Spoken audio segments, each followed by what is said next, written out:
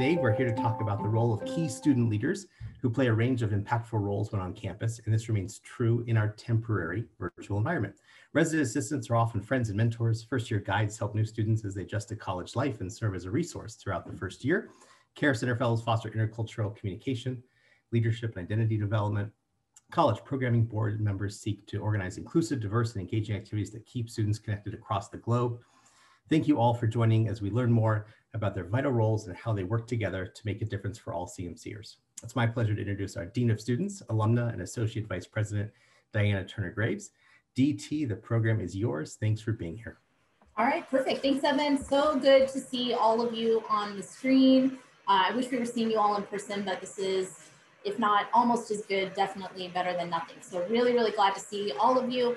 Um, as Evan said, my name is DT, so that's an old nickname that stuck, and that's how our students refer to me and our staff and faculty. And um, I've been at the college, I'm a, graduate, so I graduated in 98, and then I went and did some other things, uh, came back to the college, and I have been working here for uh, almost a little over 20 years, I guess now. So uh, I'm a lifer, and I absolutely love the place. And I think one of the things that has drawn me to Claremont McKenna, both as a student and then particularly as a staff member and in this role as the Dean of Students, is the community. I love the people here. I love that you can find an interest and pursue it here. I love that students care about one another. They care about being connected.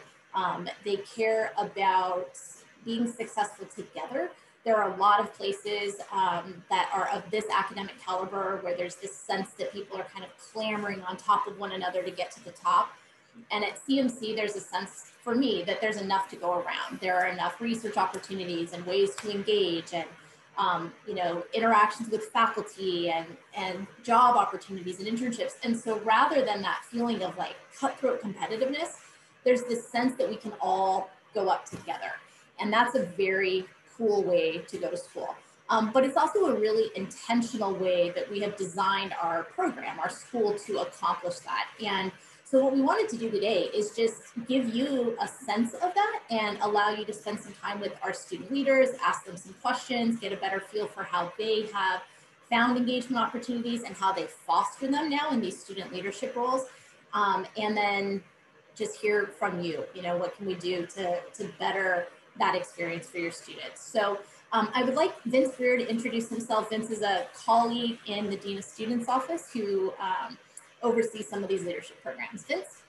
Thanks, DT. And first of all, hello, everyone, and welcome. Uh, I know we're obviously um, talking over screen. To DT's point, would love to have been able to see you all in person, but so excited to spend some time with you all this morning or early afternoon, depending on where you are.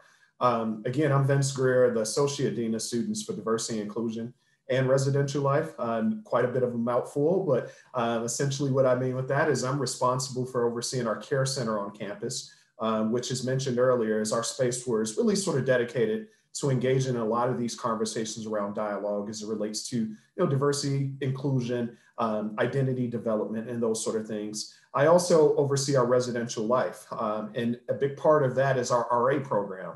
Um, like many other programs here at the college, we've had to make some major adjustments, but we're so excited for the great work that both um, our care center fellows as well as RAs have been able to do in terms of adapting in this um, environment, this remote learning environment that we're in, along with all the rest of our student leaders. So um, I won't spend a ton of time talking about um, those things because you want to hear from the students way more than you want to hear from me. But I will say is that even in these times where we've been remote, we found some pretty creative and exciting ways to engage the student body.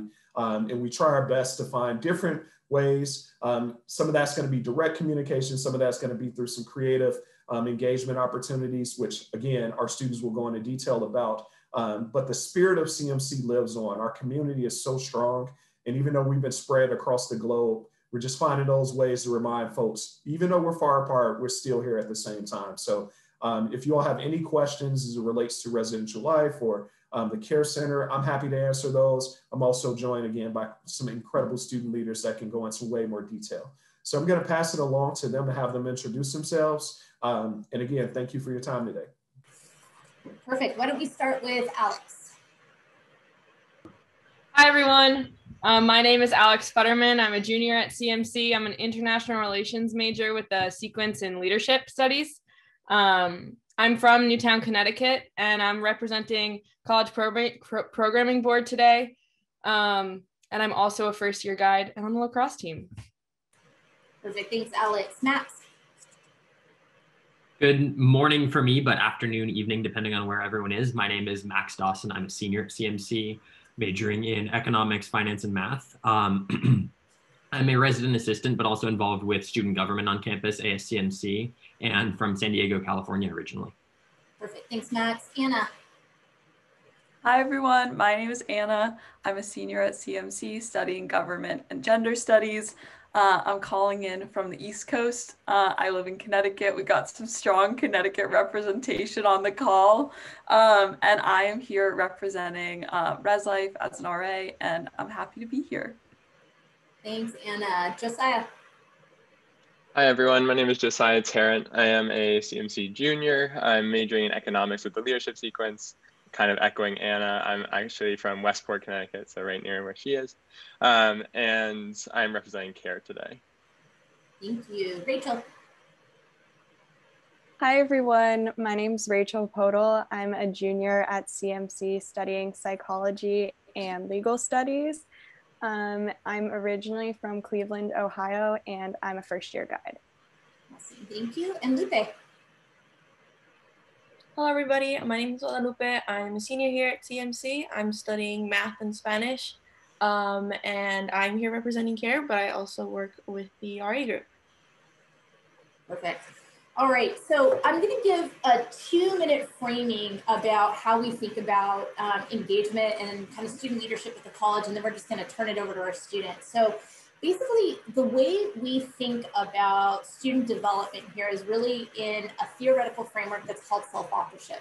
And the idea of self-authorship is that over the course of the four years that students are here, we are um, trying to cultivate these skills and capacities so that when they walk out the door, they are fully equipped to be on their own, right? Theoretically, at the end of four years, you are employed or in grad school, or you have something going on, you're living independently, you're, right, you've got rent, you've got the whole thing. So, what we're trying to do is make sure that our students are positioned for those kinds of challenges. And the way that we approach that within this framework is to think about how students think about their own knowledge. So, what they believe to be true. Why do they believe it to be true? What are the experiences that have informed those beliefs and how might they think about getting new experiences to start to challenge those beliefs and better understand kind of the world and where they're at. That's the knowledge piece. The interpersonal then is really the relationships. So how do students build relationships with one another, with faculty, with staff, with the broader community, how they think about their internships and employment opportunities and other things. And then how do those relationships again kind of impact in the intrapersonal how they think about themselves right? What does it mean to do well in the world? What does it mean to do good in the world? Who do you want to be and how do you want to get there? And so unlike many places where that's a very transactional you know kind of in um, approach where a student will come in and maybe they have a problem or they have a um, you know i need this or that kind of thing most often in our office, that is going to be turned back to the student and go, okay, that sounds really challenging. Like, how are you thinking about managing that? Or, um, I have some ideas on this, but you should think about what the consequences of all those contingencies might look like. Right. So we're trying to help students kind of lead them through a series of questions and give them a lot of agency. So if they are recognizing a problem on campus, how do you want to tackle that? Um, because at the end of the day, our students know our students better than we know them, and they are crazy capable. And so when you give them enough resources to go, they take off and make it happen. In the engagement sphere, sphere specifically, we focus mostly on three key themes. So one is community. That's really thinking about, again, how we build up that sense of belonging at our place. The second one is uh, purpose. So thinking about how do students start to zero in on things like major? Where are their passions? What are the problems in the world they want to solve? How do they want to do that? So what is their purpose? And then the third part is play. Um, it's really easy to get caught up in the credentialing game. It's really easy to get caught up in the, uh, you know, always forward thinking future, future, future, and forgetting to have fun. And we really need our students to have fun too. And so community, purpose, and play. And I think you'll start to pick up elements of that in this conversation with our students. So I'm going to start, um, maybe I'll put Anna on the spot here for the first question, which is really when you think about student engagement and community at CMC, what are some things that like pop into your head? Yeah, I think um, to your point about like um, like building community and kind of fostering all of these different skills. Um, we really like from the RA perspective, we really want to just help students to feel comfortable navigating all of these things and kind of forging their own path at CMC. One of my favorite things about CMC is just like the plethora of resources to do anything that you're interested in. And people come to CMC with all of these diverse and fantastic interests and skills and past experiences. Um, and so we really want to help students to navigate pre-existing resources and um, just find ways to bring whatever makes them special to our campus and um, find home. Everyone else has, everyone has their own like skills and talents and it's just such a beautiful um, community. And so we wanna help people to um, feel at home no matter where they're coming from or what um, their interests are at CMC. Thanks. Anybody else want to jump in on that one? What you, when you think about connection, what sorts of things pop in your head at CMC? Sure, Josiah, go ahead. Yeah, I would just add, I agree with everything Anna said, but something that has been so essential to like my experience is how the grades are really interconnected. And I think each of our leadership roles is a critical part of that. But when you're a first year at CMC, it's not like you're only going to be friends with the other first years. You really get like thrown in with first year guides um, to like welcome you, and then your RAs to support you at home or at your new home. And then um, at the care center, even you're going to be engaging with people of all years. And then, of course, you're in classes and you're living next to people of the different years. And I think that's what's so special about the CMC community is that it really you support each other regardless of who how long you've been there. And if you're like us and more senior, you're going to support the first years um, and the second years and really create a connection that goes beyond the years. Good. Alex, you look like you had something to add there.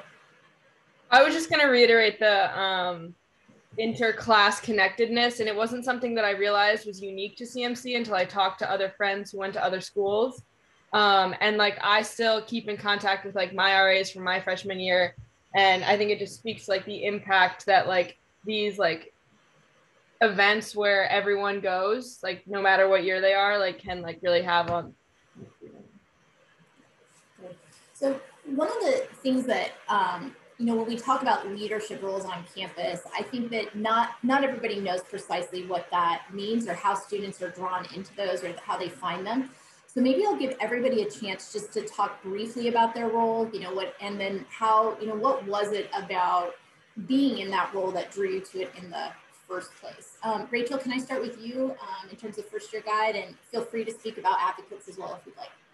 Yeah, of course. Um, so I'm a first year guide and funnily enough, Max, who's also on the panel, was my first year guide. So pretty cool. But what really drew me to the role was how like I just think orientation um, and like my relationship with my FYGs was so impactful and super important to me coming in as like a very anxious first year um, to sort of like get me going with CMC. And just immediately I had like a community of people that I could rely on, people that I could ask questions to, um, and just people that I knew would be there to eat meals with me and to support me and just like get me through the first few weeks of school. So that's definitely what drew me to the um, first year guide position. I just wanted to be that resource for other students. Um, kind of like what Alex and Josiah were saying, we are really um, centered on supporting each other at CMC regardless of grade level. And you definitely want to pay that forward. Um, it's like the CMC mentality. Um, I know DT also mentioned my capacity as president of CMC Advocates for Survivors of Sexual Assault and Domestic Violence. And we've been doing a lot virtually as well as in campus to make sure that students are supported while they're living at home or living elsewhere this semester. So um, can talk more about that if people have questions, but just thought I'd throw that in as well. Great, thanks. Lupe, can you talk a little bit about um, you know, the Care Center and your role there and, and what the Care Fellows do? And then um, if you want to speak to the RA role as well, that would be fine. Yeah, so I've been in the care center since my first year here on campus. Um, so the reason why I joined was actually as a previous student, which is when I was visiting different schools, the care center was a really big reason why I decided to join um, like the CMC community and come here.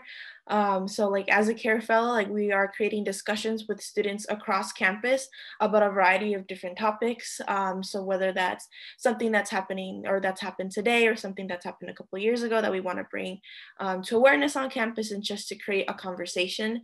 Um, that's one of the main main roles I think that the care fellows here um, take care of and like help do. Um, and through that we um, do that through like a variety of different events. So whether that's like watching a movie, creating a conversation, um, just bringing food on campus and things like that. We want to foster a community and just create a space where students can have these conversations um, and open a space for students across like like just CMC in general. So it's not just created for one particular group. Um, so we have a physical space on campus where students can go ahead and step up, have these conversations, or just like grab a quick snack, make some oatmeal or anything like that. Um, I think that's a huge staple thing that brings a lot of students to the care center is like the abysmal amounts of like free food that we have. Um, and in terms of, yes, I do think care house has the best snacks. Um, and I think in terms of like the RA role as well, um, being able to just like communicate with students, even though we're not on campus, like RAs, in my opinion, and I think for a lot of students here, have always been a huge role model for us since our first years. Um, it's kind of sad to know that like they're seniors and we get to see them graduate and then that's kind of it.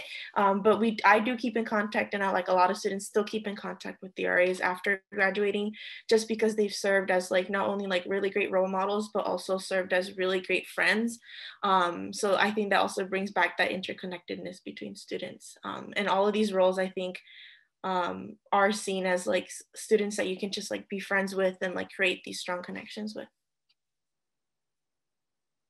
Can I just briefly jump in there too? Lupe, I thought did a really great job of, of summing up the care center. Uh, I'll just say that like every other place on campus, we've had to make those adjustments to a virtual environment. Um, and you know, the Zoom fatigue is real, um, as we all know, um, between the, the many classes our students are in and then still trying to engage with student orgs and a lot of other things. So um, in the care center, we've had to make some necessary adjustments around that. We still have programs that happen over Zoom for sure, um, and provide those opportunities. But we've really sort of had to move a, a great deal of our programming and discussions uh, more to social media, um, you know, um, outlets and platforms just to meet our students where they are, right? So we know they're going to be on Instagram or perhaps Facebook or any other TikTok and these things. So we, are finding ways to creatively still engage in these topics, think critically, um, but also knowing, you know, it's a lot quicker to just sort of digest some of those things in a space like that versus perhaps um, in a much more in-depth dialogue um, over Zoom. So just thought I would throw that uh, throw that out there as well. But thank you, Lupe, for really just sort of highlighting care. Perfect. Josiah, since you're representing CARE as well, do you have anything to add um, or just how you were kind of drawn into that opportunity? Sure. Yeah, I, I can add a little bit. Um, so I grew up in like a pretty conspicuous family and really was aware of a lot of differences um, in terms of like social, uh, yeah, like social issues, and uh, it gave me a very unique perspective. So when I got to CMC, having done had a lot of these conversations in my own home community, when I got to CMC, I really wanted to continue that. Um, so I've loved getting to be a part of care and having these difficult conversations and learning from all of my fellow or my other care fellows um, and their unique experiences. Um, and another important element of care is really like I guess creating community across difference and having these difficult conversations, just like we do at like the Athenaeum. Um, so we really pride ourselves on bringing people together, and maybe we all have different perspectives on something, but we learn how to talk about it um, in a really constructive way. And we might not change a lot of our minds, but at least we will get to see where other people are coming from at least. Awesome. Um, Max and Anna, I'm going to ask you guys to talk a little bit about the RA role, and then if you can talk specifically about how RA has worked in this environment so that you still have cohorts and just give them a little bit of a sense of that. Um, Max, maybe we'll start with you and then I'll turn it to Anna. Yeah, sure. Um, so what we've generally, I think, tried to do with the RA role is we, I think, all have a pretty clear picture, as some of the other students have pointed out, of what the RA role looks like on campus. And I think the task that we and, Vince as well in Res Life have been faced with now is our RA term has been pretty much entirely virtual. And so we've had to kind of figure out some of the ways in which we can take what we know about the RA role on campus and sort of translate that but what we found is that that alone tends to sort of fall short. And so we've also had to be a little bit innovative in terms of new things that we would not have ever done on campus and just by virtue of things that we hadn't thought of. And we've had to be really creative with that. And I think that's been that's been really helpful for just being able to, as Vince said, meet people where they are. Some people want to engage in big groups. Some people want to engage one-on-one. Some people want to engage in asynchronous activities where they can just kind of do their own thing on their own time and feel connected that way. And I think our big task has really been to kind of figure out how to offer opportunities so that every student coming from every sort of preference area is, is able to find a way to engage with us. Yeah, I completely agree. Um, I think like the RA role is one of these very essential like layers of student support. So to questions about how we're supporting first years, um, we're really just doing our best between the FYGs and the RAs and um, you know CARE and CPB and all of these other uh, on-campus groups that are providing programming that's accessible to everyone um, to meet people where they are. And to Vince's point as well about like Zoom fatigue is very real and um, I've had a lot of conversations with Devin, another one of the members of the Dean of Students office, about um, this weird dichotomy where you kind of have to be online in some ways to, you know, go to class or maybe see those emails that we're sending out about our programs. And it does kind of require us to put in a certain amount of being online and that can feel very taxing and so we've tried to really do our best to meet people in all of their um, in, in all of the online capacities, whether it's by email, by Instagram, uh, by texting people, by calling people, but also trying to give people ways to engage offline as well. So this semester, especially the Dean of Students office and all of the on-campus groups, um, as you guys have probably seen based on the number of packages that are arriving at your house if your student lives with you, uh, we're doing so so many different things to try to meet people offline as well uh, because you know we're really trying to make sure that we're supporting students supporting students mental health um, and, and, really just giving them different ways to engage whether um, they want to be online all the time or whether like zoom life makes them want to just like spend the rest of their time hiking in nature whatever that may be one of the benefits I think of um, the way we structure our RA program that's allowed this transition to happen um, pretty well is that the RAs at CMC are really positioned as um, I mean, you heard them describe themselves as friends, right? Like they're, it's almost like an older brother or sister kind of role where you have somebody that really knows the place, is very connected into the resources, kind of like that firm older sibling who doesn't let you make wrong turns. You know, like that's not cool. That's not how we do things here. But it's not a policing role where they're writing people up and doing that kind of thing the way that you often feel that at other campuses where the RAs are, are feared. They're more authoritarian than they are resources and guides. So it's a pretty big difference here. And I think that that ethos has allowed us to transition online in a way that we might not otherwise have been able to very effectively. Um, Alex, I'm going to ask you to talk about CPB and, and the first year guides, and then I'm just going to open this up for, for questions. We have a number coming up in the chat. So go ahead, Alex. Yeah, totally. So I would say CPB's role on campus is offering. Um, CPB was kind of founded on this idea that there was like a gap in programming. And so on campus, we would typically offer like three substance free programming events a week on Thursday, Friday, and Saturday, just to give students like more options um, and ways to spend their time. And virtually, we have um, lessened the amount of days because I think the biggest issue that we've been seeing is like nobody wants to spend more time on Zoom, but people, when they come to our events, are like happy that they went. So it's like overcoming that um, that issue and and getting people on their computers again. Um, and I was drawn to CPB as a freshman because I got these email in my inbox with all these cool events to go to, and I was like, I can just like go to them and I um, went to a bunch of them and made some really great connections. and had these just organic interactions with so many students on campus and was able to feel super connected right away. And um, when applications came out, I was like, oh, I want to, I want to be a part of this. And so um, I've been in CPB since my freshman year and was in the PR and marketing branch until this year. Um, and I think the biggest challenge that we've been trying to overcome is like I think I think it's funny that everyone else said this, but it's like meeting students where they are and making sure that we are in the spaces that they're in because everyone wants to be connected and we just have to make it the easiest um, for them to be connected as we can. Perfect. Thanks so much.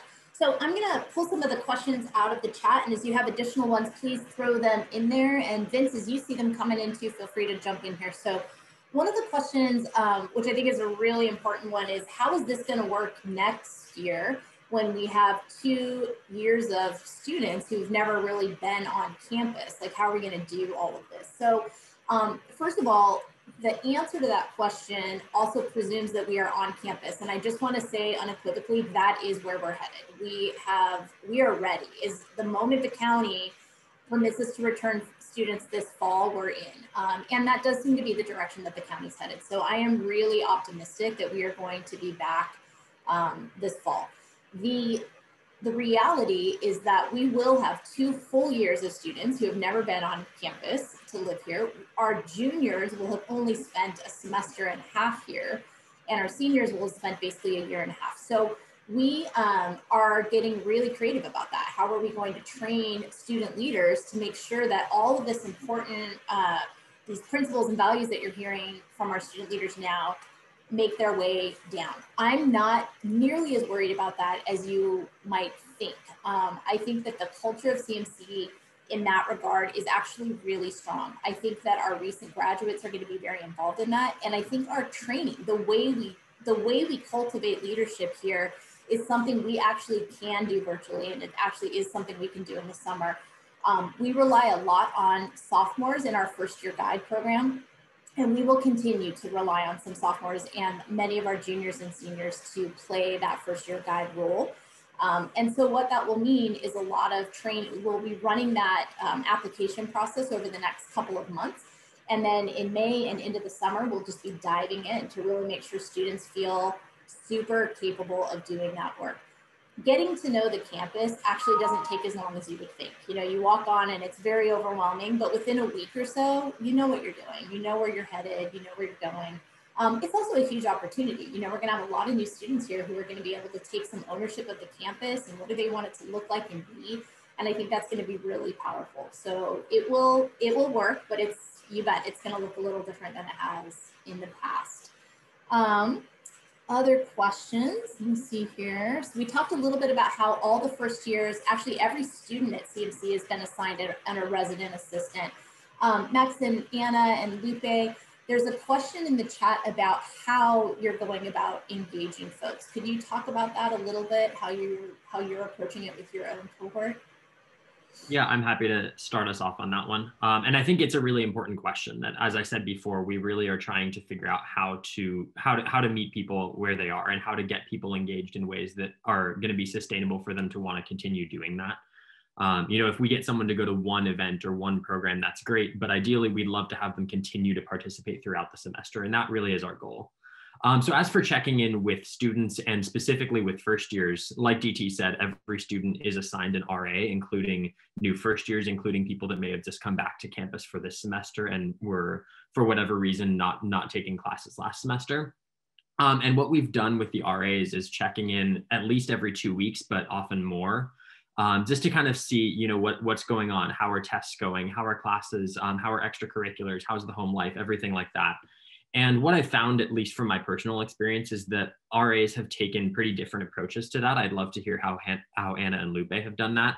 I think many have presented themselves, as, uh, offered themselves as resources of, you know, if you're going through kind of a struggle that I might have, I might have had some experience with, or might have had a friend that's had some experience with.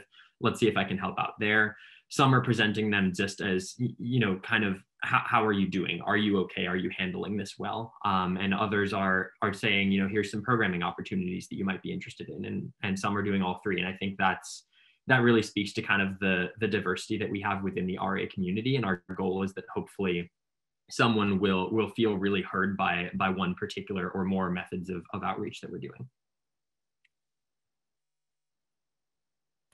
Thanks. Anna or Lupe, did you have anything you wanted to add or did Max it? Yeah, I can jump in. I think um, to Max's point, uh, at the beginning of the year, we didn't really know what this was going to look like or what was going to work. And uh, Jenny and Vince were like very, Jenny, our other Res Life director, uh, was were both very transparent with us about like we were doing something new in a virtual format um, and we weren't sure what what would work and what wouldn't. And so we've really tried to evolve throughout the year to make sure that we're making our events as accessible as possible to everyone. Because when we're on campus, there's this great ability um, to maybe see a poster in a dorm for some event that's being hosted in Berger or Beckett or anywhere else and just pop into those events and maybe get to know those RAs. And even if um, you like don't feel super close to your RA, maybe you meet another RA and you really like chatting with them. And we really try to like triage that support. And so we've been trying to kind of evolve in our programming as well to do that same thing. So this semester, for example, we started um, a Res Life Inform where every week we send out an email to all the students, letting them know what events are happening in every dorm. So um, for example, like this week, there was a game night on Monday where you could work on puzzles with the RA of Benson.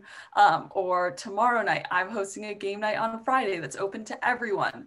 Um, and so we're really trying to just access everybody and make ourselves as accessible to everyone across the campus so that maybe one first year who doesn't have anything to do tomorrow night says, um, I guess I'll go to this game night being hosted by Anna, and maybe they'll come and they'll meet other first years or other students and really help them to build more little connections within the CMC community. So somebody private messaged me a question, which is what has been your favorite like engagement activity this year, either that you've done or that you've been a part of, you know, participated in or box that came your way or whatever it might be. Um, anybody want to take a stab at that one? Sure, Alex, go ahead. Okay, this is a very exciting question because my favorite, of course, it was a CPB event, was my favorite event that I went to. And one of our directors, we found that sometimes, especially virtually, really niche events have been been really successful.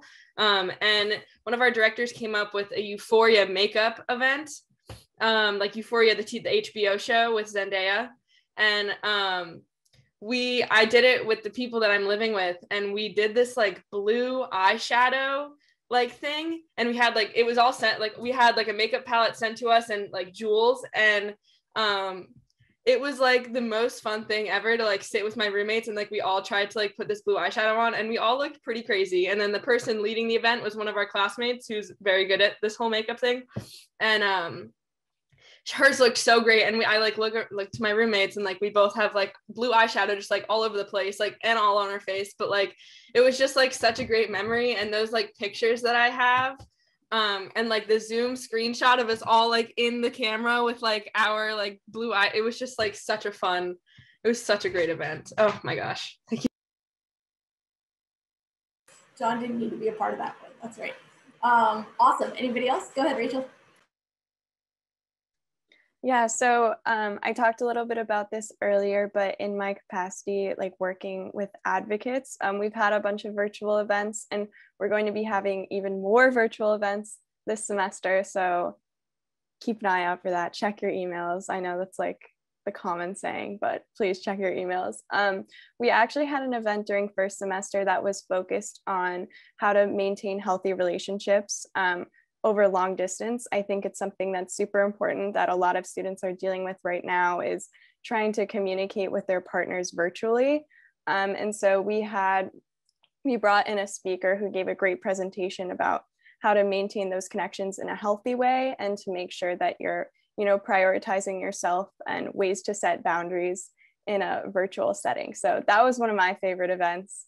Um, yeah, it was just like always good to get like more information on how to like like directly related to our virtual setting. I love that, Rachel, and I that's like a key thing. Like I don't think people were right that's something students were thinking about that the dean of students office wasn't necessarily and so i think that's a really good example of that and um, it comes to life right it comes to life when you're texting each other when you're doing other things like so putting like practical words and skills on that i think is brilliant love that um, anybody else have a favorite activity or engagement that they want to talk about the more the better on this one you guys don't feel like you're taking up space on this one I think one of the best. Oh, go ahead. Yeah. No, go go go in. I'll go after. I think to everybody, like one of the best things about being a leader is kind of having um, very easy access to design programs that we want to. Um, this semester, especially, there are way um, there's a lot more access to resources for anyone to use um, part of what we're calling like the staying connected fund um, to really like have the resources to be able to explore any kind of passion that students are interested in. Um, but some of my favorite events have also just been really informal ones. My co-RA Nasim and I have been hosting weekly coffee chats where anyone can just come through. We usually send an email like the night before saying like, coffee chat tomorrow, bring your coffee, like just come hang out and start your day with a random mix of people from like the broader Green Hall community. Um, and it's a great way for people to just like see the email when they're waking up, pop into the call before they go to class or anything else. Um, and having the opportunity to have those kind of informal interactions as well that we're, we're sort of lacking during this time has been such a great way to add a little bit of spontaneity and fun and connect people uh, with other students in the way that they might run into people in the dining hall or tea or other type, types of venues on campus. The something I was going to talk about, which was like super recent, is I think being virtual has created some cool opportunities for like collaboration. So just like that last week, I actually got to help moderate a talk largely because of care um, that we brought in a speaker. It was a joint between the Kravis Leadership Institute and the Care Center. It was all talking about like being an inclusive leader, uh, and that was a really cool event. That I don't know if like it would have that collaboration would have happened if it honestly wasn't for virtual um, events. And I think that's a cool thing is like the app has really pivoted to make that like really accessible and flexible. Where I often am actually like enjoying just like list, putting that on during dinner and like watching that. Um, something else I wanted to highlight is in a couple of weeks, we're gonna uh, CARE's putting on what's called the what we're calling the Peer Conference, where we're gonna uh, be having a lot of awesome programming um, all around um, the issues we are always talking about, so diver diversity, equity, and inclusion. We are we have some pretty awesome speakers, uh, largely because of the virtual nature of this. Really lets us uh, bring some great people in. So we're really excited about that, and it's going to be all over our social media. I think we even have like our own uh, Instagram handle. So that's something that's coming up that we're very excited about.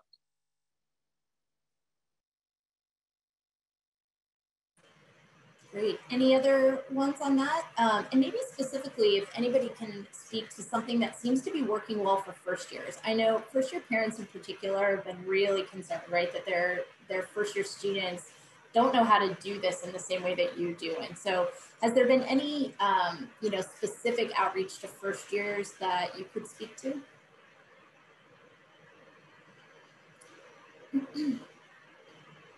I can speak a little bit on like two events that actually are care and RA, I noticed that a lot of like first years as well as like other students are very much attracted to food, like free food.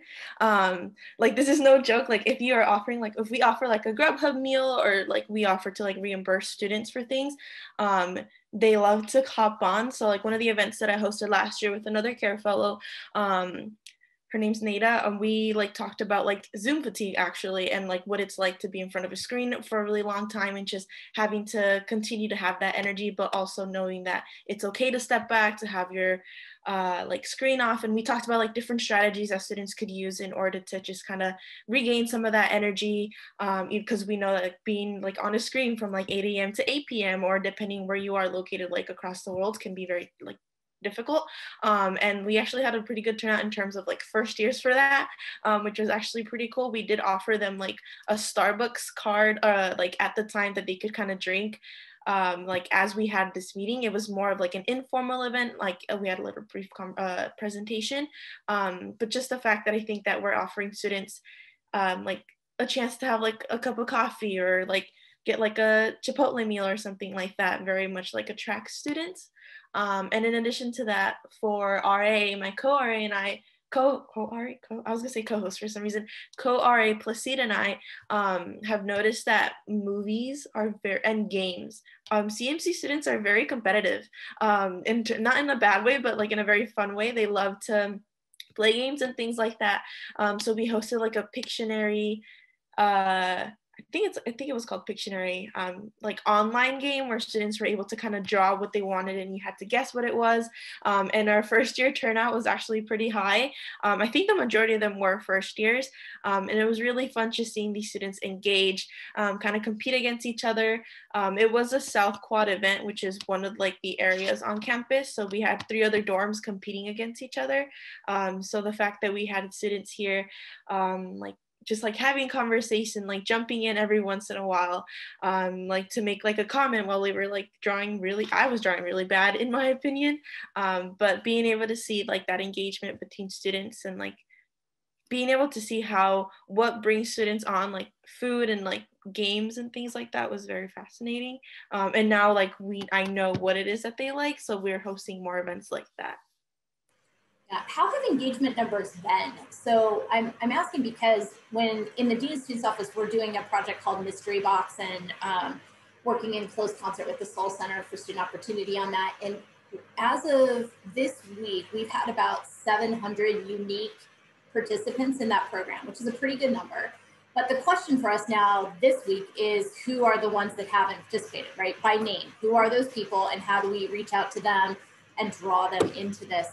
So I'm curious um, how your engagement numbers have kind of looked in your respective spaces, and have you seen it ever flow? Like, has it gone up? Has it gone down over the last few weeks or months?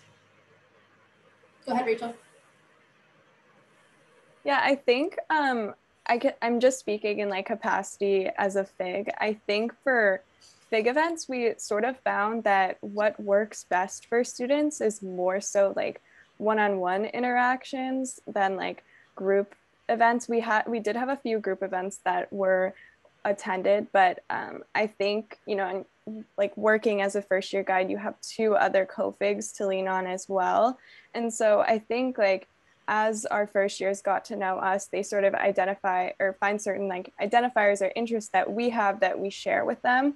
And so then you're able to sort of foster more important connections. So, for instance, like one of my first years or right now is actually super interested in the internship that I had last summer. And so I've sort of been working with her to try to, you know, connect her with people and talk to her about the experience. Um, and so I think just like finding those sort of meaningful connections that you have with your first years has been like the more individual approach has been um, like sort of where like where I've been hanging. But in terms of like virtual events that I've hosted in other capacities, I would say that like engagement has been better than expected for a lot of things. Um, I know that like we get so many emails with different events, and I'm like, how can people attend all of these? It's so overwhelming. Um, but I think people really find the things that they're interested in and they go to those, and that's awesome. So I think like at one of our events, we actually had upwards of like 80 participants, which is awesome. Um, so it really does depend on what the event is, though. Anybody else want to chime in on that one? Yeah, if I also could add briefly, and I think also to incorporate the last question about sort of specific engagement to first years. Um, I, as I mentioned in my in my introduction, am part of the student government on campus, and we typically are on campus at least the body that will plan a lot of sort of these big class-wide, school-wide type events. Um, and we've had to really adapt those to a virtual format as well. And so I want to give a lot of credit to our first year class president, which is someone who was elected virtually, who has ran his entire campaign and has really just basically done everything virtually without having been on campus at all. Um, his name is Michael, and he's planned a lot of really, really awesome events that, from my understanding, have really engaged a lot of first years. Um, I mean, these are things such as he, we sponsored a bunch of uh, DoorDash gift cards for everyone, and and they all sort of got online for dinner and sort of had a Collins um, our, uh, recreation, something like that, because it's as I'm sure we've all seen, it's it can be tough to recreate sort of that atmosphere of just having a lot of people in one place.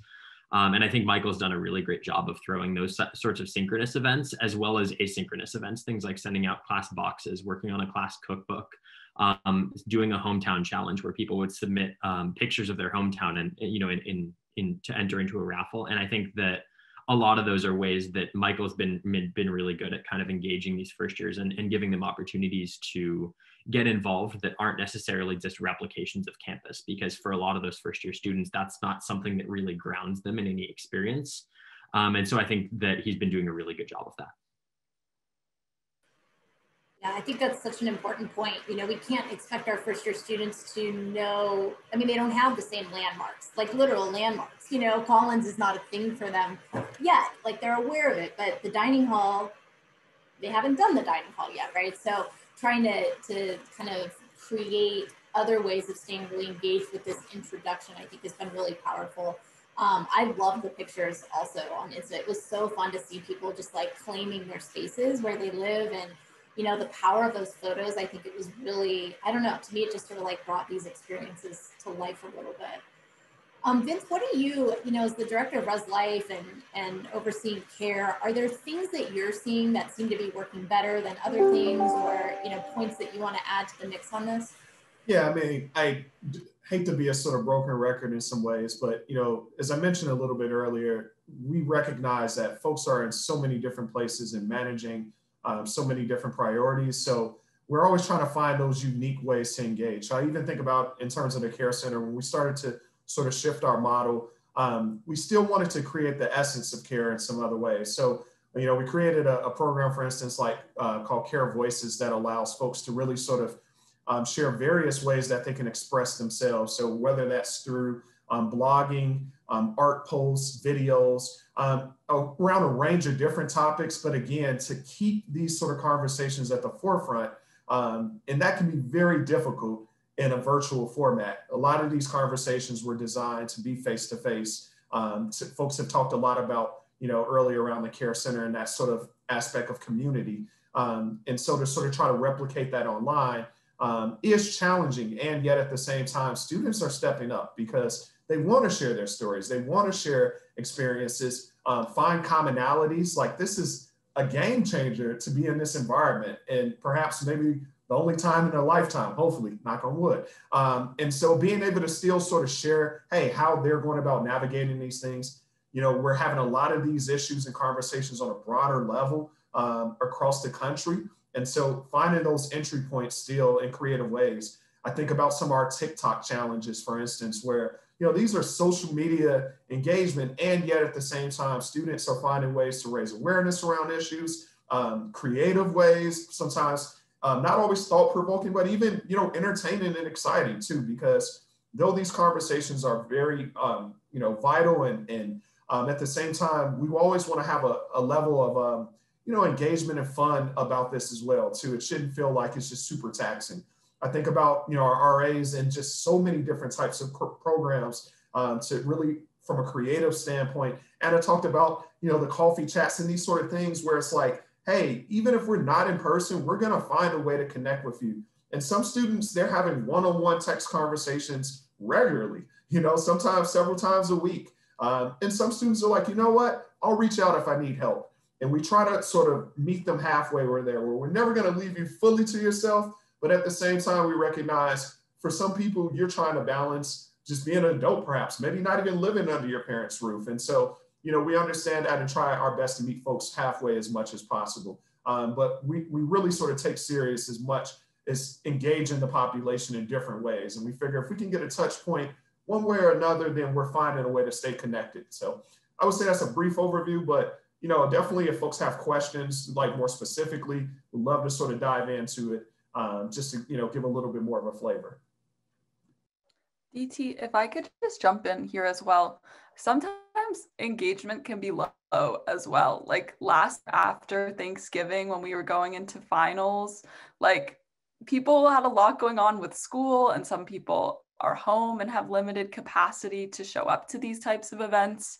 Um, and that's really okay as well. Like as student leaders, we really understand the experience that students are going through, and we understand and empathize with those feelings of Zoom fatigue and wanting to show up to an event but feeling a little too tired to be there or things like that. But I think the key point is that we're still here and we're still trying and we're still putting ourselves out there as much as possible. And as a first year, I think it took for me personally like a little bit of time to realize how serious everyone was, like my RAs and my FYGs and the people in DOS were when they said like we're here for you and if you need anything, like go into Heggblade Center where the D- where the Dean of Students office is located, or like show up to your RA's open door hours, or just text your FYG and say like I'm having a really hard week and I don't know how to process it. And so for these first years who are living at home, or for first year parents who are trying to figure out how your child is engaging or how to help your child engage, I think the most important thing to know is just that we're here and we want to be accessible. And whenever students feel like they want help or if they need help and they don't know how to access it, that's what we're here to help them do. And that's like what we love to do. And that's what makes us want to be in these roles.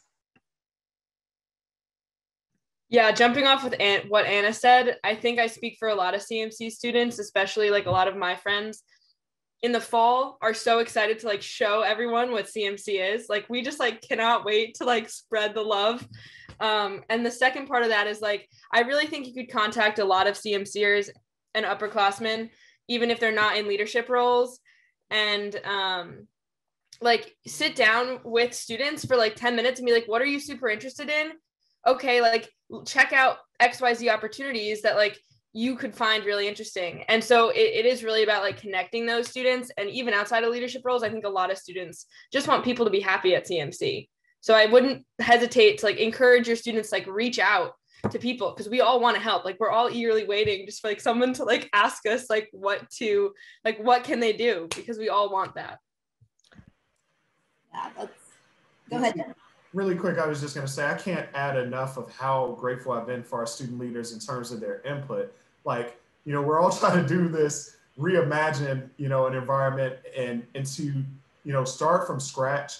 You all have been just so great with feedback. Hey that's not working or hey we need to pivot in this direction or you know we need to put more of an emphasis here.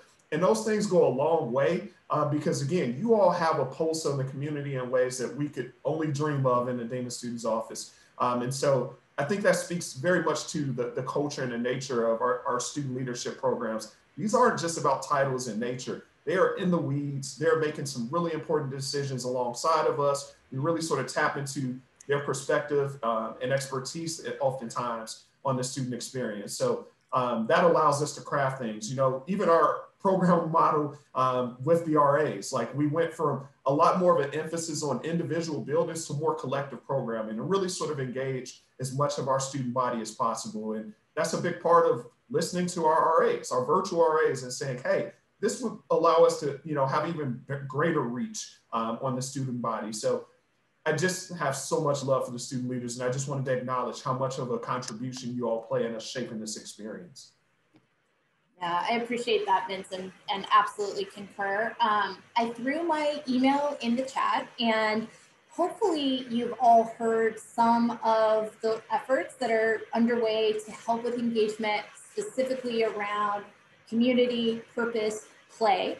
Um, if you have a student who you're worried about, right? I just don't feel like they're engaging at all, or I don't know how to get through to them, or I'm really concerned, or whatever, send me an email. Um, we have all kinds of discreet ways to reach out to students. You know, we can get in there and just check in on them. How are they doing? Get a better sense of those specific things, like what would draw your student out. And there are lots of ways for us to approach that. So please don't hesitate.